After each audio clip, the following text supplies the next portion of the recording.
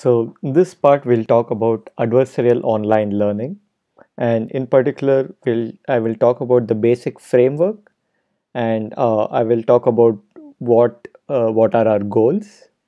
So as before this uh, set of lecture series is supported in part by NSF award CCF 1749864.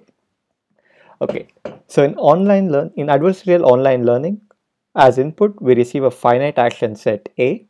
Uh, for the purpose of this uh, series, let's call them 1 through k. So, uh, and then you're given a payoff range. So you're given a payoff range, which we'll assume lies between 0 and 1. And you're given the time horizon t. And all these things are known a priori. So later we'll see when we can relax these things. But for now, you're given all these and known before the start. So the procedure proceeds as follows. In each time step t, the adversary chooses a payoff vector ft which lies in 0 to the 0 1 to the k. So for each action the adversary chooses a payoff and simultaneously the algorithm chooses a distribution pt over a.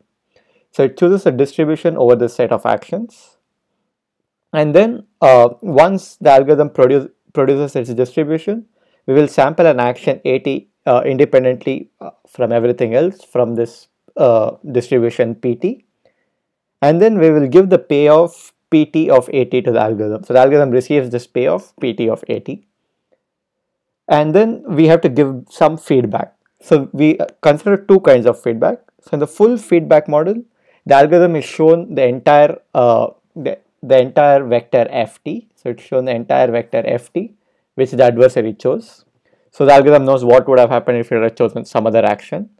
And in the harder bandit feedback, the algorithm only sees PT of AT. So it doesn't see, uh, sorry, FT of AT. So it doesn't see what would have happened if it would have chosen a different action. So this is the setting we'll be working with. So what is our goal? The goal of the algorithm is to design uh, an online system, possibly adaptive to uh, the inputs and randomized such that the total payoff it receives which is the sum over uh, all the time steps ft of the chosen action at is maximized. So you want to maximize the total uh, payoff. And what is the benchmark we consider? So what are we competing against? So we compete against the best action in hindsight. That is if the entire set of vectors f1 f2 up till ft was known a priori then if I just stuck with one action, what is the best total reward I can get? So we're competing against an algorithm in hindsight. And our measure or measure of how good we are doing is called regret.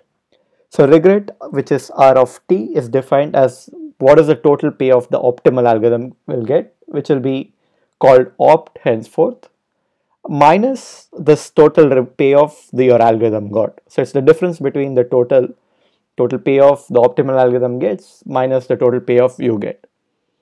And this is commonly called regret. So going back to this framework, uh, here the uh, we can constrain the power of adversary. So the adversary could either be uh, adaptive to the previous actions.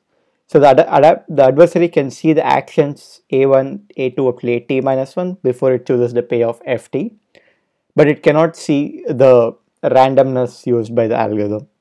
So this, this is commonly called the adaptive adversary framework and the slightly weaker framework is called the oblivious adversary framework. In the oblivious adversary framework what we have is that the adversary has to choose all the payoff functions a priori. So it has to choose all the functions a priori and then it has to work against such an adversary so we'll make this distinction we'll go back and forth between what kind of adversary we're using throughout the lecture series